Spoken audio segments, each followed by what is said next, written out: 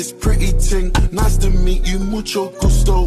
Sweeter than a churro. She call me Papi Chulo. Yeah, I'm sick.